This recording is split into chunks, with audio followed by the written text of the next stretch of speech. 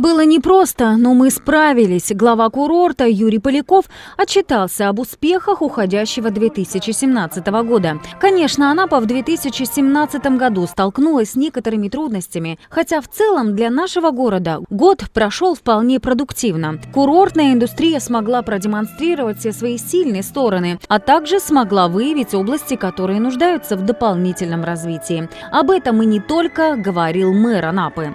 Уходящий год оказался непростым, насыщенным событиями, но в то же время успешным для нашего курорта по целому ряду направлений.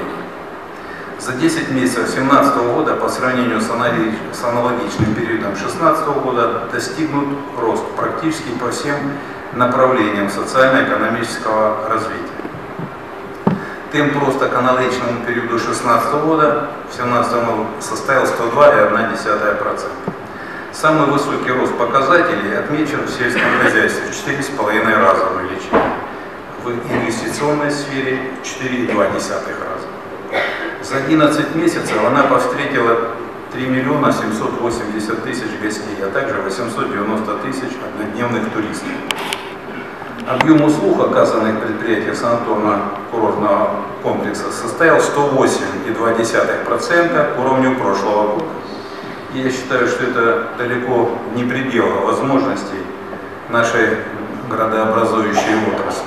Также Юрий Поляков отметил, что Анапа имеет и не очень хорошее наследство в бюджете, которое оценивается в 169 миллионов со знаком минус.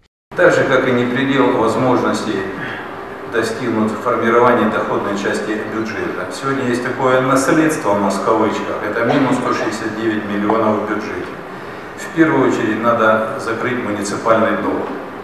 Губернатор Краснодарского края Владимир Иванович Акондратьев ставит четкую задачу оптимизировать всю работу в муниципалитетах. Что это означает для нас, для всех?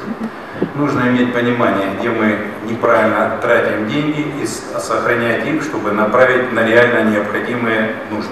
Ну и, конечно, в речи главы курорта была задета тема предстоящего курортного сезона 2018. Нас ждет очень ответственный курортный сезон, который нужно провести на новом уровне.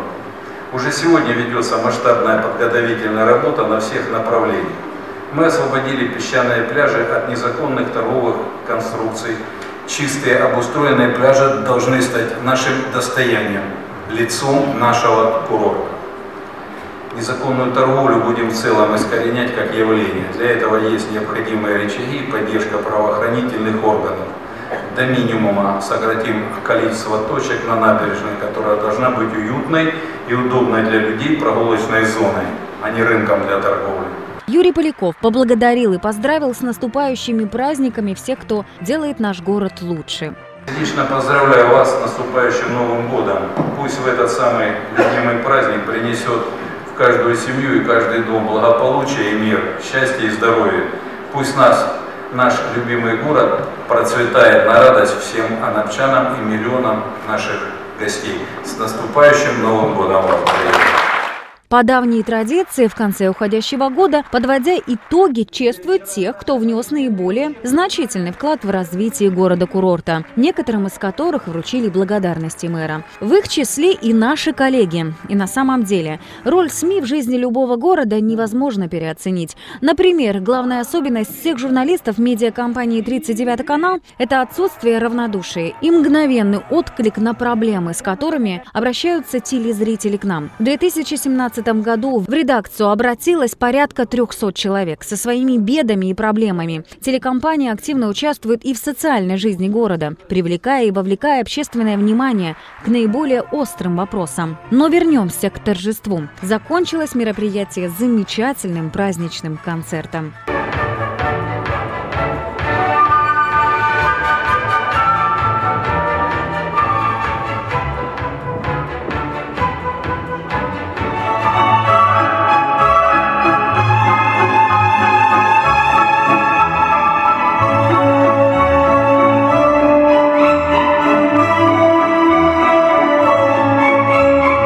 программе принимали участие таланты из ансамблей Анапы и Краснодара. Юрика.